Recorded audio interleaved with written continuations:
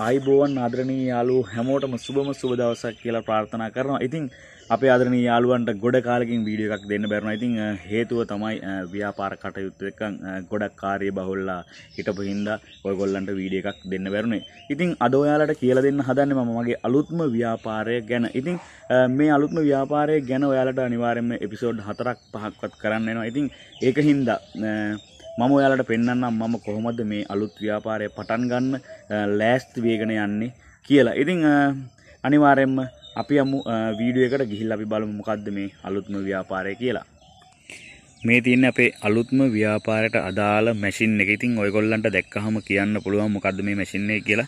මේක තමයි පොල් ලෙලි කපන මැෂින් එකක්. ඉතින් මේක ඇවිල්ලා සිංගල් පේස් මෝටරයක් තියෙන horse power 5 single phase machine එකක්. ඉතිං මේක තියෙන්නේ තල දෙකක මැෂින් එකක්. ඉතින් මොකද මට ඇත්තටම ඕන වනේ නෑ. ගොඩක් ලොකු මැෂින් එකට යන්න.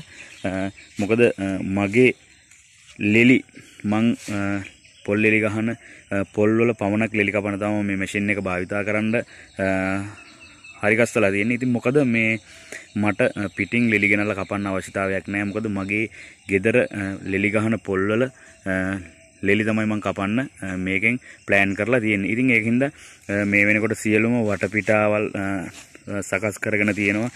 මේ තමයි කපලා ලෙලි දාන්න සහ කෑලි ගොඩ ගහන්න මේ වෙනකොට ඩෝසර් කරලා හදලා තියෙන්නේ.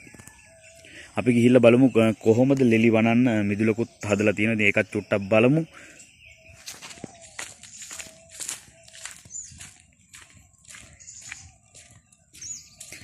මේ තියෙන්නේ අපි මෙතන තවත් ව්‍යාපාරයක් යනවා මේක නම් මගේ නෙමෙයි අපේ ගෙදර අම්මලා තමයි මේ ව්‍යාපාරය කරගෙන යන්නේ. ඉතින් මේක නත් ඔයාලට සම්පූර්ණ වීඩියෝ එකක් දෙන්න අපි බලාපොරොත්තු වෙනවා.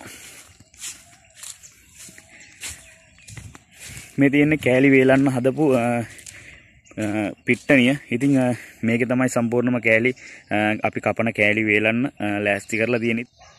ඉතින් ඒක තමයි මගේ අලුත්ම ව්‍යාපාරය. ඉතින් මම හිතන්නේ හැමදාම අපි අඩියෙන් අඩි ඉස්සර හැට යන්න ඕන. ඉතින් ඒක තමයි අපේ ව්‍යාපාරිකයන්ගේ තියෙන කැපවීම සහ උනන්දුව මත තමයි ඉතින් අඩියෙන් අඩි ඉස්සර හැට යන්න. ඉතින් ඔයගොල්ලන්ට තේරෙන්නේ නැති මේ ගැන පුංචි දෙයක් හරි. ඉතින් ඔයගොල්ලන්ගේ අයිඩියා එකක් තියෙනවා නම් අනිවාර්යෙන්ම කල්පනා කරන්න ඔයාලට ඕන විදිහට පටන් ගන්න මොකද කාගෙන්වත් අහන්න දෙයක් නෑ වටින් තොරතුරු ටිකක් දැනගන්න ඉගෙන ගන්න තමන්ට ඕන විදිහට තමන් වැඩේ කරන්න. ඉතින් යාළුවෝ හැමෝටම සුබ දවසක් තෙරුවන් සරණයි.